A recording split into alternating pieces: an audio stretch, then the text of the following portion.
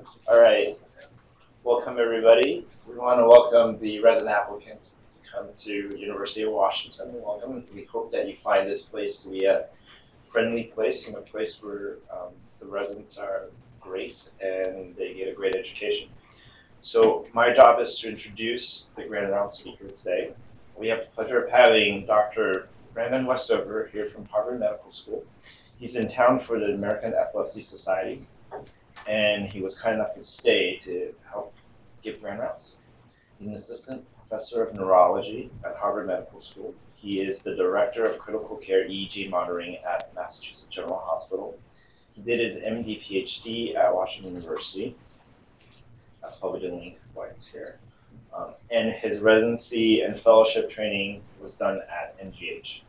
Clinically, he's interested in applying EEG to help care for patients with acute neurologic conditions such as delirium, anoxic brain injury, status epilepticus, and delayed cerebral ischemia following subarachnoid hemorrhage. His research interests include automated methods for interpreting clinical EEG data, which we heard about a little bit last week, closed loop control of sedation and analgesia, biomedical informatics, probabilistic analysis of medical decisions, and the neurophysiology of pain, sedation and delirium in critically ill patients. Dr. Westover's overarching research goal is to improve neurocritical care through the application of engineering principles, applied mathematics, and computation. In fact, I think that's one of the common links why um, Brian um, crossed paths with him when he did his clinical rotation at, at MGH as a resident. So that's definitely a possibility for people considering the University of Washington. Um, his talk today is pharmacologically induced coma, neurophysiology, and closed loop control. So please join me in welcoming Dr. Brandon Westover.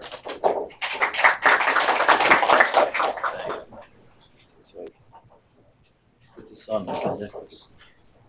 Hold on. Not sure I'll do this right. There we go. Okay. Um, so, so thanks for the nice introduction, Leo. Um, actually, just a, a quick story. Leo and I were in a course together more than a decade ago now about how to give a talk. And at the end of his talk, Leo, it was about prions, and he took out a Tupperware container, which he said had brains in it. Did, I think it really did. And he took a bite. And that, that made a real impression, and it's hard act to follow. Um, but I, am happy to be here. So let me, let me start with a question. Um, so how many of you have been involved in, in caring for a patient where the treatment was, was to intubate the patient and then start a high dose anesthetic infusion? Right, so a lot of people, and how many of you worried that we might be doing more harm than good to this patient? And so it's a it's a common worry, you know, at, at Mass General and everywhere in the country, I think, and in the other places. So I'm going to talk about what happens to the brain when we do this, and then how we can make it safer. Um, so I'll, I'll, start with a video, uh, if I can get it going. All right, so this, my wife says this is the most boring video in the world, um, but I, it's, it's actually not. So yeah, there's more boring ones. So there, there, this is a, an operating room monitor, right? That we have our cameraman with a little shakiness, but there's four seconds of EEG data here, and um, and uh, we have four channels just on the forehead. And this patient's receiving propofol for a routine routine uh, surgery. And what you'll see, so first you're going to see as the propofol takes effect, um, these sort of fast oscillations. You see them here appearing. This is called paradoxical excitation because it's, it's sort of like the patient is more awake, but they're really going to sleep. And then uh, in a second, you're going to see some big, big slow waves. All right, so here, here they come, these kind of mountainous slow waves. At this point, the patient could be, you know, is actually deep enough to be operated on. But this patient got a little too much propofol, and so there's another transition you're starting to see now and this is this transition where, where we're having periods that are where the EEG is, is very flat. These are called suppressions. And then these periods of, of sort of activity where it turns back on, these are the bursts. They last about two seconds. And uh, within the burst, there's an activity that's about uh, 10 to 13 cycles per second. We call this the alpha activity. Very characteristic of uh, the EEG under, under propofol anesthesia in a healthy brain. So this, this alternating pattern of bursts and, of bursts and suppressions is called burst suppression. It has an unfortunate acronym, um, which I'll try not to use. Um, but so why do we do this to patients? Um, let me talk about sort of three different uses. Uh, so the first one, oops, that, that uh, let me turn the video off. Hold on, sorry about that. Um, so the first one, you'll recognize this uh, is Malala uh, after she was, was shot in the head back in 2012. The day after this occurred in the hospital, her brain started to swell, and she was, uh, she was given this treatment, a pharmacologically induced coma. Um, now, th this is not her brain, um, but this is another brain with traumatic brain injury, and you see uh, all the swelling that's occurring, right? And it's compressing the ventricle here on the right, and um, and over over here you can see why this is a problem, right? If, if the intracranial volume uh, from swelling gets above a certain point, there's a precipitous rise in the ICP, and this this can be life-threatening. Um, so so why why give these anesthetics? So here's a series of PET scans that shows you kind of why what the idea is here. Um, so an, an, awake person uh, with has a lot of you know, glucose utilization and, and a lot of blood bringing that uh, bringing the energy there that the brain needs. Here's the awake EEG underneath. And as we give higher and higher doses of, or sort of greater amounts of propofol to this patient, the, uh, the metabolic activity in the brain is really dramatically reduced. And uh, the EEG signature of that state is, is this burst suppression pattern. Um, and, and so this, you know, because we need less blood, we have less volume, and this could, could save the patient's life, or at least prevent an operation uh, otherwise, you know, which otherwise would have some morbidity or mortality. Sorry, either one could happen. Um, there's, there's a standard way, I'll just mention, of measuring the depth of burst suppression, um, and, and this is called the BSR. So all you do is you take a, a window of, of the EEG. Actually, to get a good estimate of this, you'll need about a minute or two worth of, uh, of data if the EEG is not really in a steady state. More, more on this later, but you just take the fraction of the EEG that's suppressed in that window. Um, another idea um, closely related is the BSP, and, and this idea is just if I close my eyes and just throw a dart at this EEG at, at random, then the probability that I land on a suppressed period is the BSP. Um, all right, so, so the second uh, use of this medically is cardiac surgery. So some, in some surgeries, they have to, you have to really stop the heart, put, to operate on the arch, for example. And uh, usually a patient is given some amount of anesthesia, but, but the primary way to get into a deep, deep state of burst suppression is to cool the patient down. Um, at 15 degrees, we have about, on average, 15% of metabolic, you know, baseline metabolic uh, activity. Um, we don't always need to go that cold, uh, though. So here, here's a case, and uh, what I'm showing on the bottom is the temperature over four hours, um, starting at 36 degrees, and then down here at around 18 degrees. This patient's EEG is, is completely flat. This, that's what these red bars mean. And, uh, and this is when the surgeons are operating as fast as they can, and then the patient's rewarmed. Um, here's one lead of EEG, and you can see, you know, when the at a certain point we start to get these these bursts, and uh, and then we and, and in between them is this are the suppressions. Um, so three more plots. So here's a barcode representation that I'll use throughout the talk. This is just showing with black where, where the, um, sorry, with white where the EEG is suppressed and with black where it's not. Um, actually, in general, I'm going to just say burst when I, when, when I mean not suppression. Um, some people argue with me about that, uh, but it's, it's, kind of, that's all I mean by a burst is just not, not in the suppressed state. So there's no anesthesia here, that's all due to cold? So it's not all due to cold. This patient's getting isoflurane, um, and that's held at a constant uh, level. Um, and, and so mo the modulation you see is, I mean, the isoflurane constant, temperature's going down. And so, but yeah, you would not get this degree of burst suppression with, without any anesthetics whatsoever. Um, and then, so the next panel is showing the sort of the spectrogram. So here's uh, on the y-axis is 0 to 20 hertz. And uh, within, so you can see, you know, the, the um, what, what, what different uh, you know, bands of activity, what, what, the, what the spectral content of this activity is. On isoflurane, this is pretty characteristic, this very broad you know, band of power um, up to about, you know, in this case, about 8 hertz or so. Um, and as you go deeper into burst suppression, you, you can kind of see as these through these stripes, you can see that that structure is more or less maintained um, until we get to, into deep hypothermia. And I'll come back to that later as well. Um, and then finally, here's here's what the BSP is doing, right? So this is just quantifying know, the, uh, the fraction of the EEG sort of instantaneously that's, that's, in this, uh, um, that's in the suppressed state. Right? And here, when, they're, when we're, this is kind of our target to be at a, a BSP of about 1. All right, so the last one I'll mention is um, refractory status epilepticus is kind of my favorite uh, or favorite favorite uh, reason for doing burst suppression. Um, the uh, so you typically we use propofol or, or midazolam nowadays. Um, in the past, uh, pentobarbital was used more often. And the goal um, with this treatment is, is really to stop seizures when nothing else will. Um, the secondary goal is, is really to, to kind of stop the brain from injuring itself to, by, by reducing the metabolic demand uh, placed on sort of on the brain in this fragile state. And here's, here's an example. Um, this is a standard you know, 1020 EEG with 19 channels displayed um, over 10 seconds. And every uh, every second or so, you see this big burst of generalized polyspike activity. Um, believe it or not, this patient is in burst suppression. Um, so on the next page, you see suddenly, you know, synchronously all across the head, the activity just shuts down and it's more or less flat. We, we do have some muscle activity here, you know, some artifact, but the, the, the brain activity is pretty silent. And then, uh, then it turns back on and, uh, and just kind of alternates cyclically. All right, so uh, the, uh, so those are, those are you know, medically induced uh, pharmacological comas. And uh, what about sort of spontaneous burst suppression? Does that ever happen? And the answer is yes. Um, so the uh, one example is in Ohtahara syndrome. So if, if you want to ask me a genetics question, this is the only possible place where you could ask it, and I won't know the answer.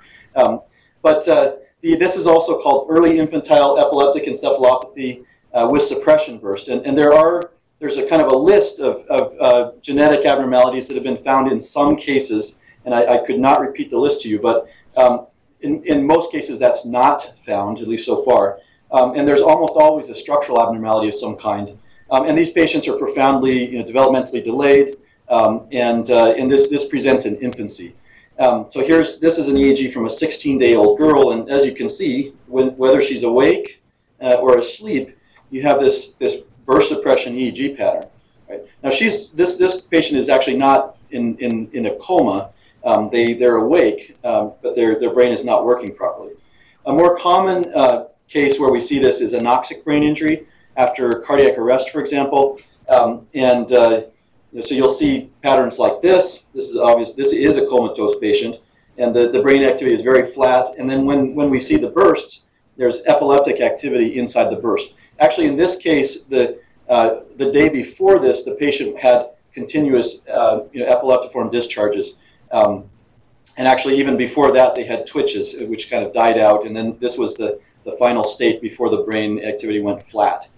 Um, here's another kind of interesting example from Michel van Putten's group of uh, severe anoxic brain injury where, where the bursts, you know, this, these are actually, believe it or not, bursts from two different times in the EEG and every burst looks roughly, you know, almost identical to each other. And so the, the brain activity has been just severely simplified in these cases.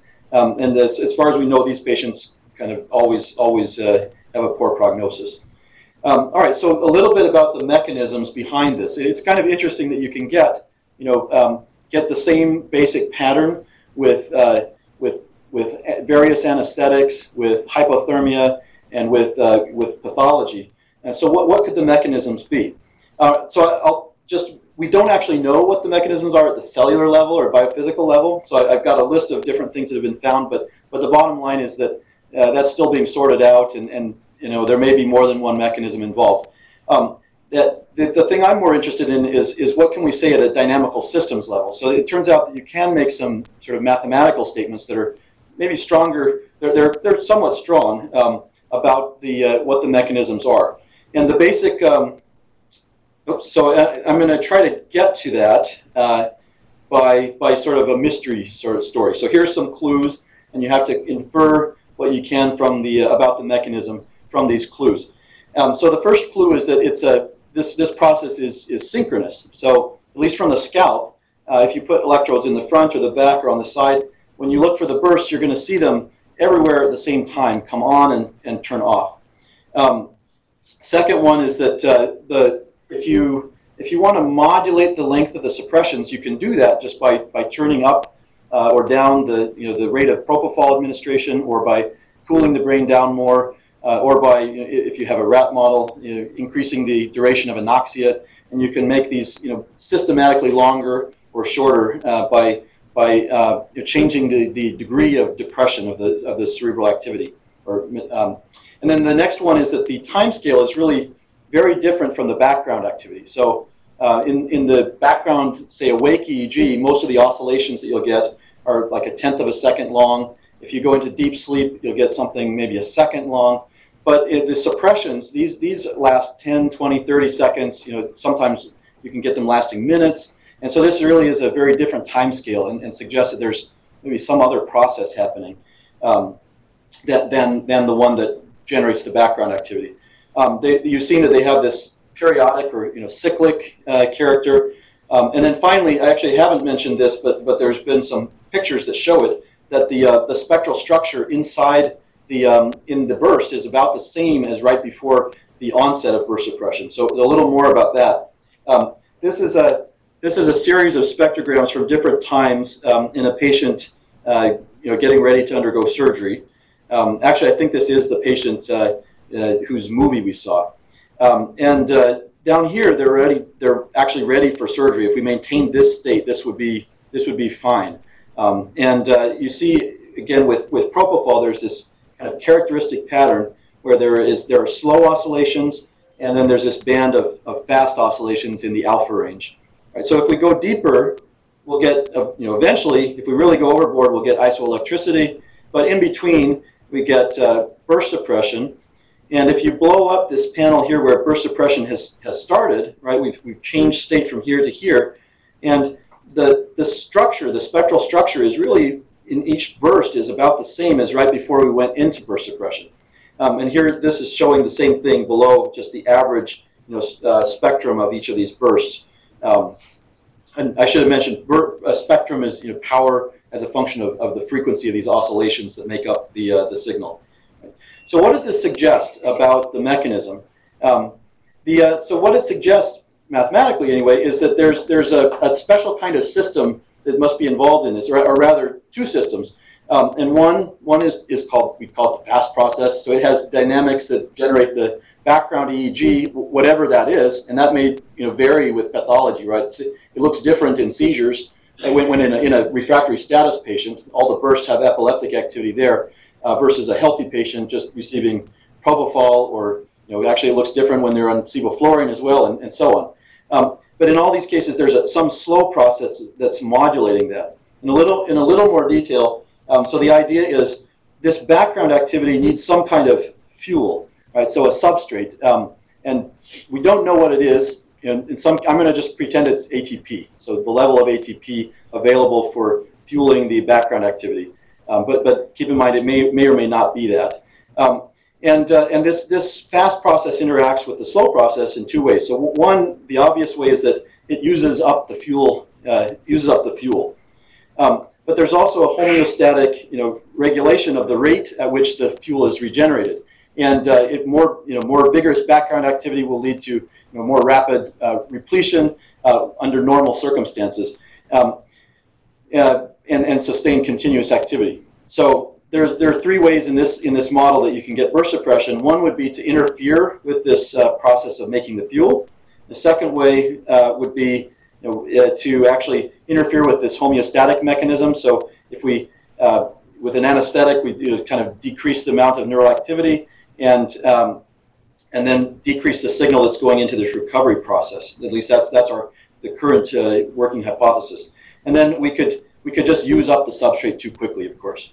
So um, how does this work? Let me, I'm just going to show you a really simple um, mathematical model of this, and you don't have to understand the equation uh, very much. Um, so I'll just, uh, and actually I should mention that this is, this is just a toy model. There's a more realistic uh, you know, biophysical model that uh, my colleague ShiNung Ching has developed um, that, that reproduces this behavior. But th this is kind of the simplest thing you can do to get, get the basic idea. So there's this, this is the rate of change here of this um, uh, substrate.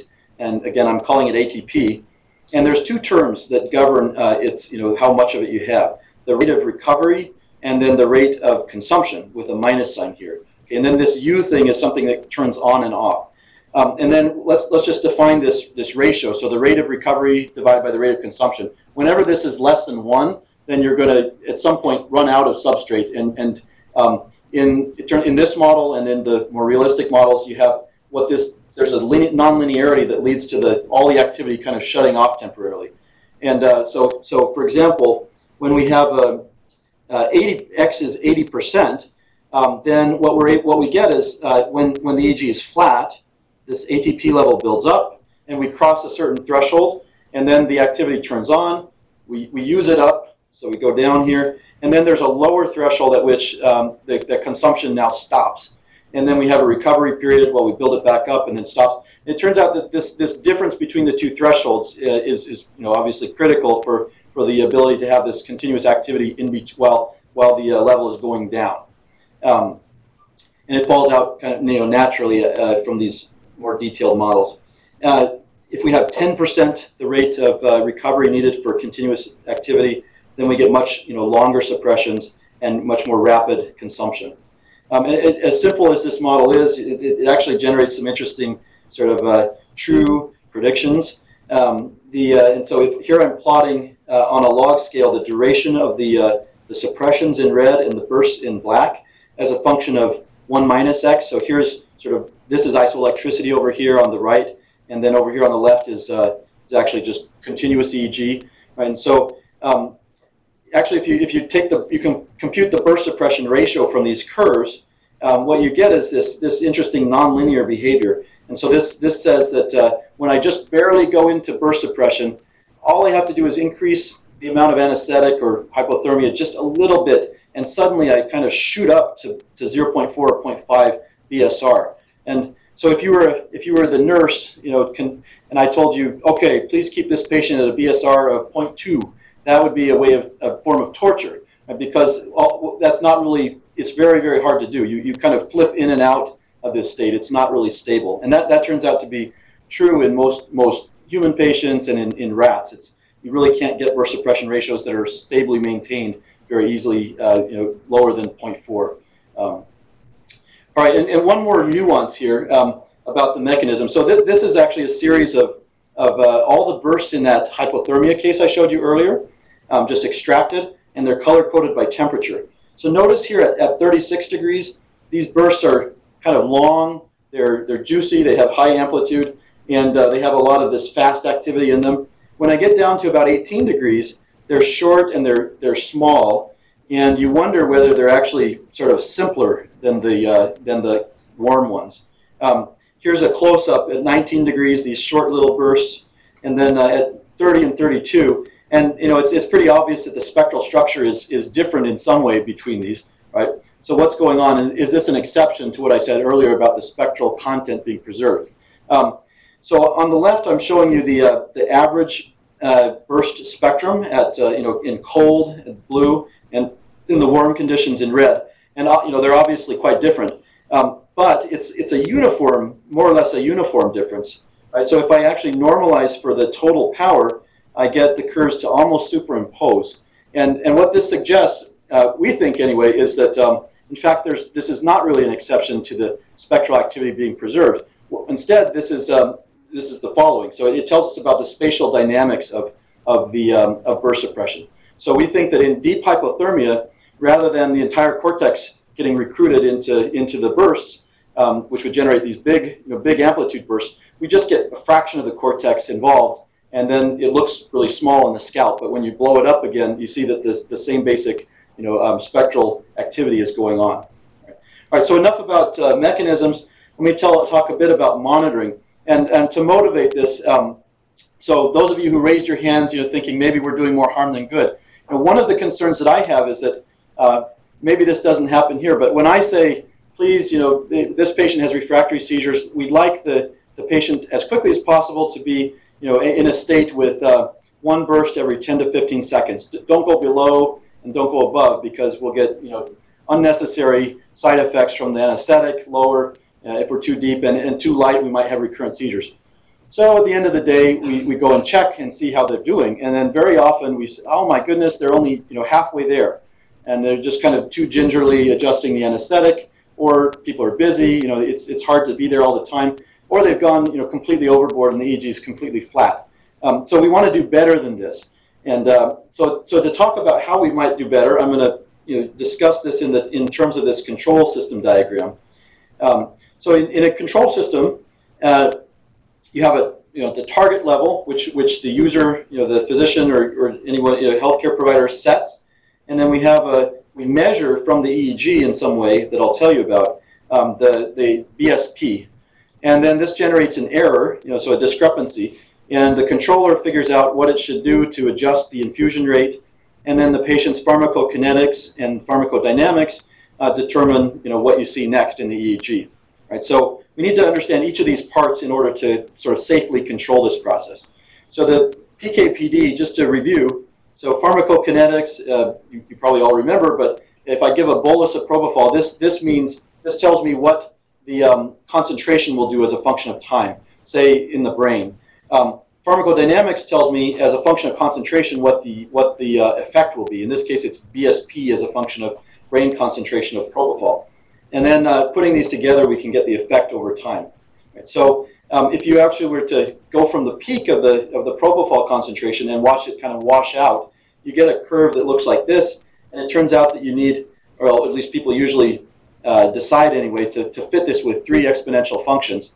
And, and this corresponds to a model like this, where you have you know, propofol coming in through this, this IV into the blood compartment and this is connected you know, with fast diffusion between compartments to uh, a small volume, you know, blood and liver compartment, basically, and then uh, by a slow diffusion to this big compartment representing the kind of the fat tissues, and you can have you know accumulation of propofol here um, if you give it for too long. Uh, mathematically, this is actually there's a there's really is a fourth compartment, so the brain, but it it's, has very small volume. It's usually not included in the model, but uh, here it is. We need it in the model. And, and this is just a system of linear um, differential equations, and there, there are these uh, diffusion constants. Um, and it turns out that these are pretty well studied. These are known for humans. Um, I, you probably can't read this, but, but this is just a list of what the equations are for these diffusion coefficients, um, in, uh, at least in a, at a population level. And they depend on uh, mass, age, sex, and height for propofol. Uh, we also know their coefficients of variation, so we have some idea of how they, how they vary between patients. So the, it turns out the pharmacodynamics um, are, are actually not that well known, and in any case, they are. It's it's certain that they vary dramatically between patients depending on their their health state, you know, what, what their pathology is, and what other drugs they're getting. So we actually uh, have to measure this in each patient. And uh, actually, there's a safe way to do that, though. Um, and all you do is instead of blast the patient with propofol to get them, you know, to induce them, you give it very slowly. You ramp, ramp the propofol up over 30 minutes. Okay, so this is a, a simulation showing you how we're going to use this to estimate uh, the pharmacodynamic curve, which is it's basically remember it's this sigmoid curve. It has two parameters. So what you do is um, with this 30-minute ramp, you get the the um, the bursts and the suppressions, and then because we're going really slow, we can actually take kind of big windows, and and we can just use this model-free way of computing the the burst suppression depth, which is the, the BSR. Right? So we just, at each point in time, we're effectively at uh, sort of at a steady state, and so we can we calculate the BSR, and that gives you this blue curve. And uh, you can't see it, but there's a black curve underneath this, which in the simulation is the truth. And, and you can see the BSR is, is a pretty good approximation to, um, to the steady state you know, uh, pharmacodynamics. And then um, now that we've got that curve, we can actually we can fit the, the, uh, the sigmoid curve. And so this, this creates this red thing, and it's a pretty good fit to the truth. All right, so next, um, how, do we, how do we actually take the EEG that we observe and form a signal that's a, you know, suitable for a, to put into a controller? And, and actually, you don't want to use the BSR in this case, because we're this, this again, I, I keep on saying it, you need a big window to get a stable estimate. And if you, if you put a sort of a signal that, that takes two minutes to compute it you know, into a controller, you end up with these lags create um, oscillations in the system. Um, and so we need a better way to do this, a way to do it recursively. So each, as each data point comes in, we want to update our estimate, um, and, and that'll work better. So um, the, uh, this is, it requires two steps. The first step is to take all the different ways that burst suppression can look. So this is six different patients, very different, but we, we just compress them to a single sort of barcode, you know, burst or suppression. Um, or really, really, the computer wants to eat zeros and ones, so we, we give it that. Um, so what we did, this colleague Mo Shafi and I at Beth Israel, um, we, we took um, 12 hours of EEG from 20 different patients in burst suppression, to make sure that we had a method that kind of worked across patients. And we marked every burst and every suppression um, in these EEGs. And, uh, the, and then we tried to create an algorithm that would, would create the marks just at least as well as we could. And, uh, and it, this is, these are the equations. It, they, there's really just, uh, so I'm, I'm going to show you in pictures what they do. Um, so the, the first one really just computes a mean and subtracts it from the signal. So it, it effectively detrends the signal. In, in EEG, there's drift that's a problem. And then the second equation here just computes the, the variance over time. Right? And then we just subject that to a threshold. That's this third equation.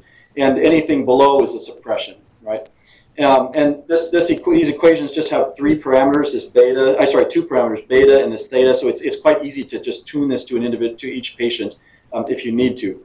Um, all right, and, and here's showing for these 20 patients, you know, the, the percent agreement that we get uh, between each other. So the black bars are the expert versus expert uh, agreement levels. So some cases are easier than others to agree on. And then the gray bar is algorithm versus me, and then the white one is algorithm versus my colleague Mo, Mo Shafi.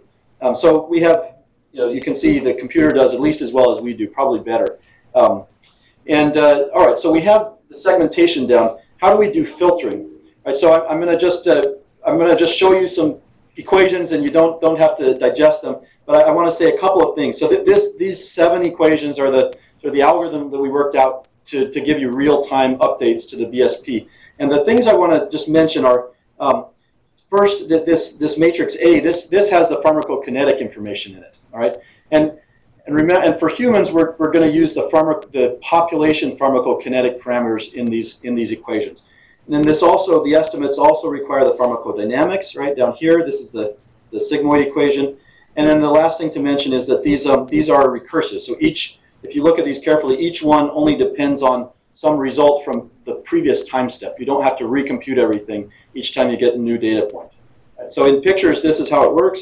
Um, so uh, this is a simulation to give you the idea uh, of 12 hours uh, of, of propofol infusion. And uh, we're, we're using some perturbed pharmacokinetic parameters to generate the data. So we pretend like we don't know those.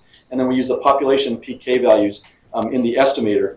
Um, this, which makes it a little bit, you know, should make it more challenging for the, for the thing, but more realistic. And then we use the PD values that we estimate from this RAMP experiment. So this is an evil anesthesiologist turning the propofol up and down at random. And then you can, you can see the, uh, the, the uh, concentrations in the four different compartments. The green one is the slow compartment, right, gradual accumulation of the drug.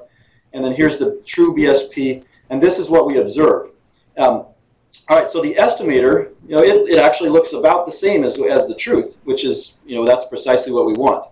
Um, and if you take the difference between the effect site concentration and the estimate of it, it's this red line, which is, you know, again, this is, it, it works just fine. All right, so uh, just for fun, as eye candy, here's a couple of examples of showing you what kinds of results you get when you run this on real patient data. Now, I can't tell you what, what the truth is about the, you know, the, the um, effect site concentration here, but at least the estimates are, are good, uh, you know, are nice and stable and smooth. And here's a patient at BSP of 0.5. Here's one who's, uh, you know, they're taking, someone's taking way too long to get this patient with refractory seizures into, into burst suppression, 75 minutes, but they eventually get there. Here's somebody with an ICP problem being held kind of at target. Uh, all right, so now last thing to, to talk about is, is control. So how do we how do we put these components together into a controller? Um, and and uh, the, uh, the method we use, there's actually quite a bit of fancy theory um, in, in, in control theory land right now, but, but this, the, more than 90% of all industrial controllers use this simple method called PID control. And uh, it's, it works fine for this problem, it turns out. So this is, uh, all you, what you do is you take the error term right, and you, you uh, compute three parts uh, and add them together to get the response of the controller. And the first part is just, it's proportional to the error. Okay, and the, constant of proportionality is this Kp. The next one is just an integral term, and you, you, so if you've been off target for a long time, this term builds up and builds up, and, uh, and the response will be bigger and bigger um, you know, in, in, a direction to drive the error towards zero. And then the last one gets bigger if, if the rate of, of, of, of you know, increasing of the error or decreasing of the error, uh, actually, if, if it's increasing fast, you'll get a bigger response. So, and, and there's a well worked out theory to try to pick these three parameters, you know, to, to get the types of behavior that you want. Um, and a little more on that in a minute. But the, uh, let me show you how it, how it works um, in some animal experiments. So here's a, our computer. Here's our infusion pump with a, with a syringe of propofol in it. And then here's our volunteer. Um, with, he has a, a, uh, tail vein IV and then an EEG coming out uh, back to the computer. Um, and he's on a you know, warming blanket here.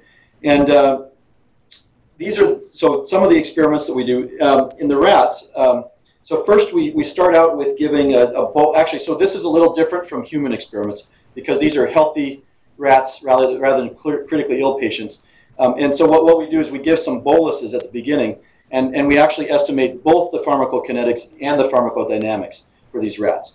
So the experiment looks like this. Give a bolus, the EEG up here becomes flat, and then the bursts appear, and then we, we calculate this BSP. Um, Here's, a, here's another example where we give two boluses. Here's the response in gray. And then we fit a PKPD model and get this red curve. Right? And, then, and then this goes into the synthesis of the, of the controller and the estimator. Um, and this is how kind of how it works when it's all put together. So the, the red line is showing you what we want, right? This is our target level. We're holding each of these levels for 15 minutes. Um, and, and the black is the, uh, our, what the controller is able to get the mouse to actually, or the rat to actually do. And you can see the tracking is, is really quite good. Um, down here is the infusion rate that the uh, controller is generating, going up and down. And, and you know, needless to say, this would be pretty hard. This, these frequent adjustments would be hard for anybody to do at the bedside. They're, it takes too much work. Um, and then here's another rat where we're going from like 0.9 to 0.6 or to 0.4 to 0.65, um, just to show that the controller is able to kind of move move the uh, the BSP around wherever we want it to go. Um, we didn't try to go below 0.4 because of what I told you earlier. Initially, we thought, oh, maybe we could hold at 0.2, but that, that really is an unstable state um, in rats and humans. Um, and then here's just a summary of the sort of, for these different levels, 0.4, 0.65, and 0.9, for each of six different rats, the errors are pretty tightly you know, clustered around zero. All right, so now in humans, uh, we have not done this in humans yet, but we've done a lot of simulations and we're about ready, so I hope I convince you we're about ready the biggest issue to worry about in humans is, is safety. And, and uh, this actually relates directly to the, the fact that we um, are not able to give these big, vigorous boluses of propofol to these uh, to human patients for safety reasons. And this means, you know, then so we rely on the, the population PK values, but they're not right for any one patient, right? They're only in the ballpark. So, so here's a simulation showing you this problem. So I'm, I'm simulating four hours um, of a patient who's, who at time zero is given, started to give propofol at a, at a constant rate. And this is, I think this was a 65 year old, 175 centimeter tall, 100 kilogram male patient. Um, but, uh, and here's the expected you know, response if the, if the population values were right. But then we've, we've taken a thousand sort of simulated patients by perturbing the values using known coefficients of variation and, and shown you the envelope of these of the responses uh, in the light blue here. And obviously, you know, after four hours, you can be really far off, right? You can be either over overdosing or underdosing this patient uh, really substantially, right? This is one reason why actually there's open loop control systems that are kind of popular in anesthesia in Europe, um, but they've never been approved in, in the U.S. for, for kind of for this reason because we know that that uh, you, you, can't really predict very well how any individual is going to going how their um, uh, what their concentrations really will be if you just let it free run.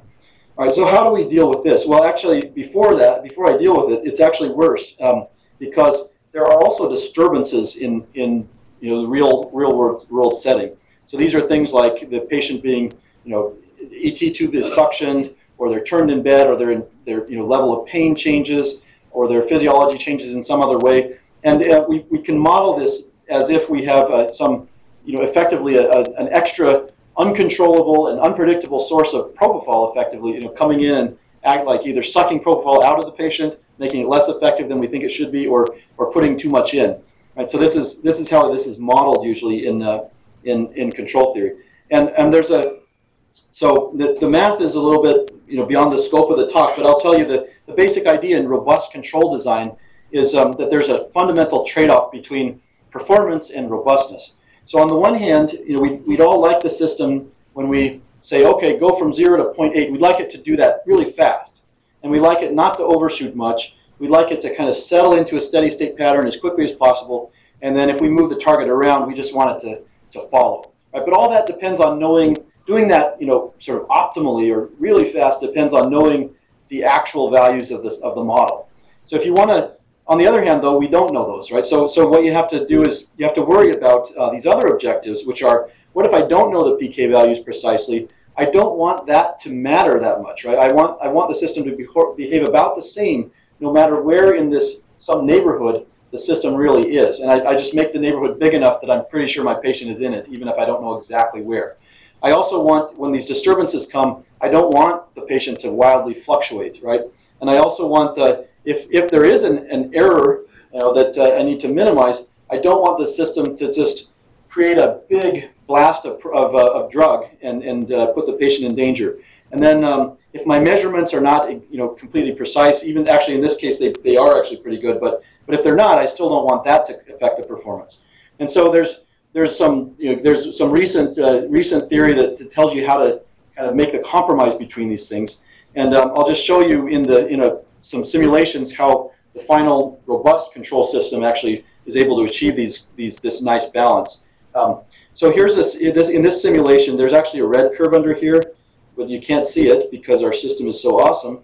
Um, but uh, so this, in this red curve, we're, we're, pretending like this is 24 hours of, of treating a patient with refractory status epilepticus. And we initially induce them, go up to a state of about BSR of 0.8, um, and then we hold for eight, for eight hours, and then we imagine that someone says, oh, please turn it down a little bit, you know, the blood pressure is dropping. So we go down, hold for another eight hours at 0.6, and then we taper down to 0.2. Right? Now, now the black curve shows that we're, we're doing a great job of tracking.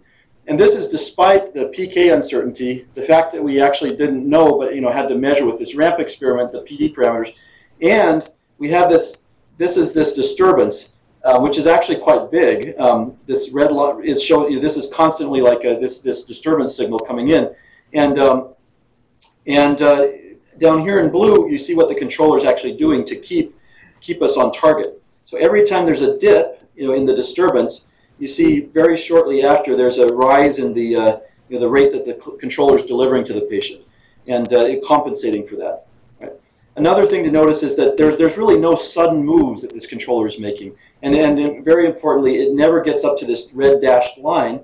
So this is a upper, upper limit uh, of sort of safety, 12 milligrams per kilogram uh, per hour, that we don't ever want to cross. Now in practice, if it ever did if we needed something like that, an alarm would just sound and, and you would, it wouldn't give it. Um, but, but we actually don't get, go, don't get close to it.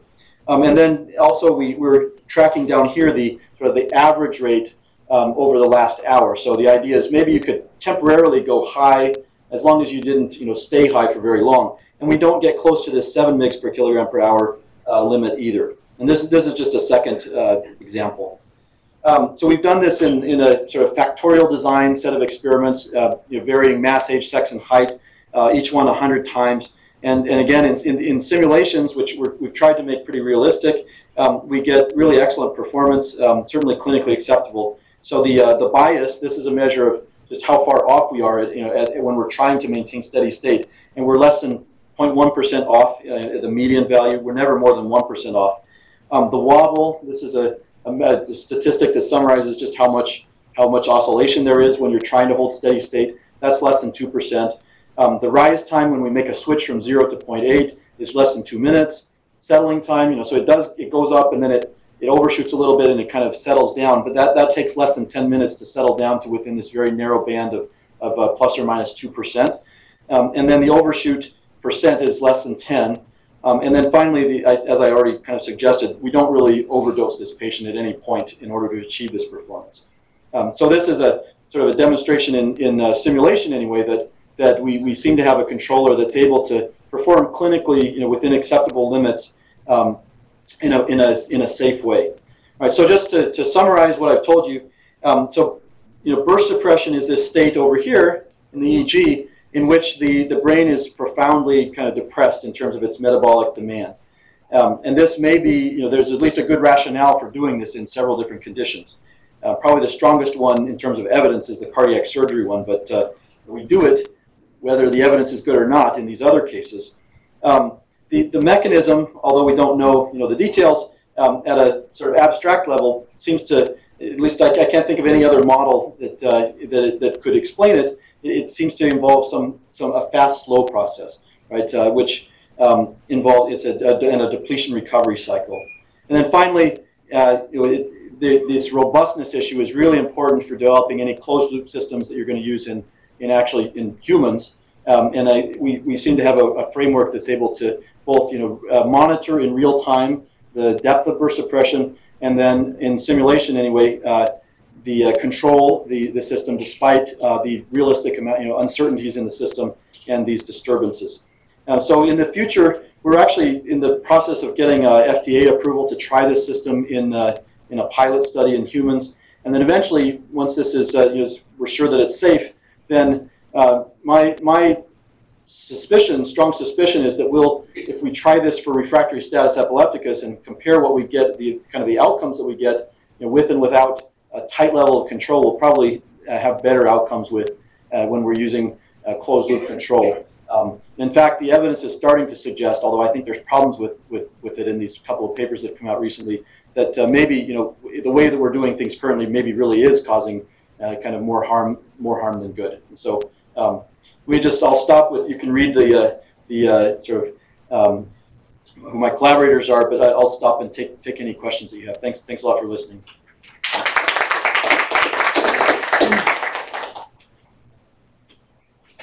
Brian. So I, I mean, there's a there's a number of parameters in the model, and, and I guess the, for example, the fact that the simple model seems to work pretty well, and one wonders which parameters are important and or most important, and some may not be important. Which simple model are you talking about? Well, the, you showed the toy model initially. Oh, you mean for the mechanism of burst yeah, suppression? Which Yeah. I gather, did you use that, and did you use that uh, in any way in the in your further algorithm? No, no. So that, so no, that that model of how burst suppression comes about is is uh, just explain is trying to be an, an explanation of, of what what's going on. Um, the it's not used in the control system at all. So You, you can use that as like as a model for the real system and control it, um, but uh, but no, no. I mean, act, and act, but it actually doesn't have that many parameters, by the way. no, no, that model doesn't. That one doesn't have- yeah. so that, that'd be part of ShiNung's my- model has a lot of parameters, Exactly. and So exactly. So yeah, that that's why I like this one better because it's you know it, it just does the job of trying to explain you know, how can you get this behavior. Um, but but you know on the other hand, you, you want to see that well, what if I if I at least put realistic like, currents in there and and make a network, you know, does it kind of without too much work produce the behavior that you think it should? And and then it does. So, for example, one one problem seemed to be in the in estimating the, the multiple parameters uh, in the pharmacokinetic uh, kinetics. So, using three time scale, which is six parameters, three Yep. parameters, and you would imagine that uh, estimating a long time scales would especially problematic if you're trying to do it for any given patient, for sure. Yeah. And it, is it, and you know, certainly in other scenarios, people have suggested that time invariant processes and uh, often work just as well as multiple uh, exponential processes. And then you only have one parameter. So I'm Yeah. wondering whether you've tried that. So, so um, actually, I, I forgot to repeat your questions. I think so. So let me try to repeat your question. So Brian is saying that um, I think that uh, why don't we? You know, we have this we have this model that's like four dimensions, and there's multiple parameters for the pharmacokinetics.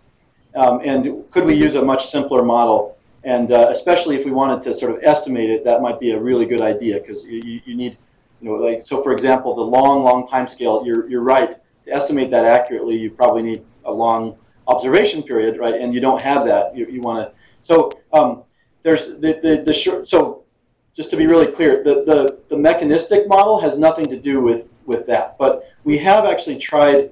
Um, we have tried uh, a much simpler pharmacokinetic model, uh, just a, a two-dimensional one, which only it turns out only needs two parameters, um, and uh, the it doesn't work well at present. And the reason is is that if you keep a, it, it actually works well locally. Like so you can actually fit it to a small amount of data, but then actually the the, the patient changes over 24 hours if you're ignoring the slow dynamics. Right? They effectively, after they've accumulated propofol in the fat compartment, it's it's like an unknown source that's you know that you haven't accounted for that leaches back out, and now it so your model is no longer accurate anymore.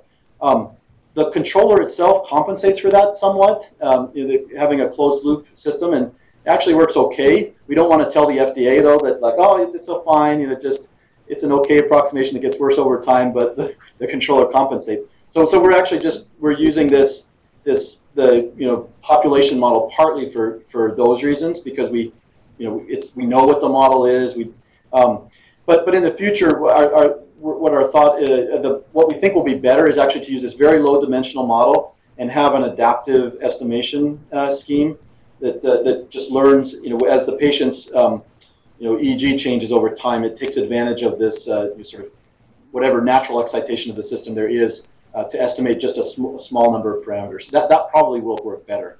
Uh, but but it, there's, there's some technical issues that are like pretty important when you, when you try to introduce an adaptive estimator into a closed loop control system. Um, you know, nobody does that.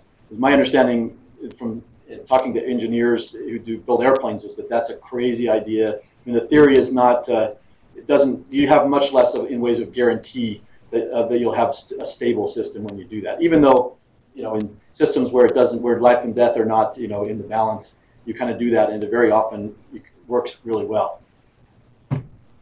Probably a very complex question, but how do you go about um, designing a, a model that, uh, or designing a closed loop system, not just for a healthy rat, but for uh, a critically ill patient with brain damage? And, I'm, I'm, sure there are differences yep. in the pharmacodynamics and pharmacokinetics versus healthy brain. Yep. And yep. Yeah, so so it's um, what you do. I mean, in, in the um, let me see if I can give a, a good an okay answer. But basically, um, you so we, we measure the pharmacodynamics is you know from using that ramp experiment.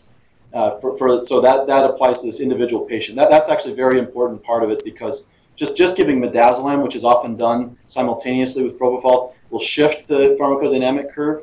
Um, and it'll take a lot less propofol to induce burst suppression. So you really need you need to do that part. Um, the, the pharmacokinetics um, we think will not be affected as much, although you know, they may. Um, but what you do in, in design, the idea of robust control is to say, well, okay, I, I, I think my system is here, but um, you know, I, I'm, I'm going to allow for the system actually, when I design, you know, I, I, I'm going to try to get rise time and and uh, you know overshoot and all these things. I'm going to constrain them to be no more than you know X, and you pick whatever is clinically acceptable. And then subject to that constraint, you say, I want the system to, to do that, even if it's in a ball, you know, somewhere around what I think you know the uh, population model says, of you know, with an error of say 50%, you know, which is, and it's if you, as long as you believe that it's very unlikely for, for a patient to be that far off, then the, your, your robust control design guarantees that the thing will stay stable and, and you can guarantee that it will meet these, um, these constraints. So that's the general idea is you, you, you, you allow for a, you know, quite a bit of uncertainty um, around the you know, nominal operating point.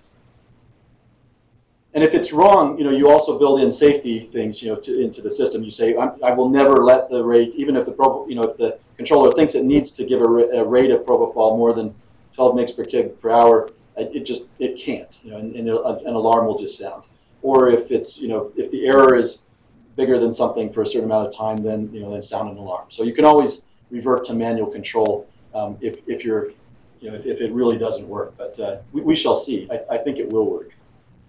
Do you think you have to apply different models, or could you use the same use the same model for different types of brain injury, anoxic brain? I, I think the main, yeah, no, I, I don't think we'll have to use different. The pharmacokinetics shouldn't depend much on the on the brain injury they may depend on like the liver injury or the you know the, the kidney you know the state of the kidneys, um, but probably not on the brain injury. The pharmacodynamics are, are going to be the thing that mainly vary between patients with different brain injuries. So, for example, um, actually, we're looking at this right now as a sort of before we, we do real you know our, our pilot studies. But um, my my impression has always been that in, there are certain patients with anoxic status epilepticus that really seem to require much higher doses of midazolam and propofol than um, than than anyone else, right? And, and they, their their brains just want to have seizures, um, and so their their curve is way is very different, right? Um, there's other patients, especially elderly patients, um, uh, who get status, and, and just a little bit of drug will will do it. So, but that's that's the pharmacodynamics, and that's actually really, thankfully, you know, very um, simple to address with a, this kind of you know very safe, um, slow uh, experiment. So so is there evidence that keeping a brain at very deep burst suppression for twenty-four hours or more is damaging, or, or is it, or not? That it's damaging? Yeah, There's no, there's no evidence, well, uh, not really, so not, not the act of, there's no evidence that, that doing that alone is damaging. Um, there's also not a lot of evidence, there's, there's, there's really good rationale, but there's not, you know, hard evidence from a randomized trial or something that, that shows that, that doing it is beneficial either. What, what there is evidence for is that, you know, if you, if you can choose between, say, intubating a patient or not, and giving high-dose anesthetics or not, when, when you can um, make that choice, you know, you, you, they're doing so will will buy them a long time in the ICU. Uh, may buy them, you know, infections they otherwise wouldn't be at risk for. Um, and so, so you're definitely making a, a risk-benefit calculation when we do that. We, we actually don't know though uh, exactly how the where the balance, you know, how it how it falls out. But but it's it's pretty safe to. I mean, um, there are some papers coming out that suggest that, uh, you know, on, on I think weak evidence, but but nevertheless um, that that inducing a pharmacological coma uh, for refractory status um, does not improve outcomes. Now, how is that done? You know, it's done the way I said. Please induce, you know, get them to this state. Well, 12 hours later, they're not there. You know, it's not under. You don't have a careful way of controlling this. Nobody in these studies has quantified, you know, how, how well they've actually done at, at getting the seizures under control and avoiding overdosing. So, um, I think I think it's an open question, but it's it's likely that we do quite a bit of harm or expose the patient, patients to a lot of risk when we do this. so what do you mean by avoiding overdosing? I mean, so to make this, the most people believe, you know, that, that stopping the seizures is what's necessary, and that can be done without making the patient isoelectric, right? And so by by overdosing them, I mean taking them to a deeper state of burst suppression than is actually necessary um, for for the you know therapeutic effect. And it's it, But there's not necessarily any harm to doing that. Oh no, there is. I mean, you'll you as soon as you start doing this, you need to start giving the patient pressors, um, almost always, um, and uh, and then the, the drug accumulates. So even once you turn it off, if you've had it on for 24 hours, if it's propofol, they very often you know take they're they're exposed to another you know 24 hours or so of of, uh, of ventilator time. Um, and then the, the risk of delirium may be increased. You know, if, maybe that's the least of their concerns in this case, but but uh, you know, that's that's also related to uh, having you know, deep levels of, of anesthetic uh, coma. So there is there is there seems to be some some really clear risk um, here, e- even if not directly, you know, the, the drug damaging the brain. There's probably probably there isn't that, uh, but these systemic risks are there. All right. All right. Thanks a lot. We've lot. got a couple of Oh, yeah. questions behind. Oh, we have questions. Okay, I'm sorry. I'm not used. To, Uh, let's see. How do you suspect your PD parameters will dip? Yeah. Okay. So we answered that. Could you test the impact of your controller in animal models of status? Yeah, that's a great question. Um, we are working on that. We don't have a great model of, of uh, animal uh, status that kind of really mirrors what we get in the ICU. Um, so we're, we're trying to see if we can get uh, animals to seize for a really long time and not to stop having seizures at the first dose of midazolam. That, that's a little bit of a challenge, but uh, we're working on that. Now we can clap. All right, thanks a lot.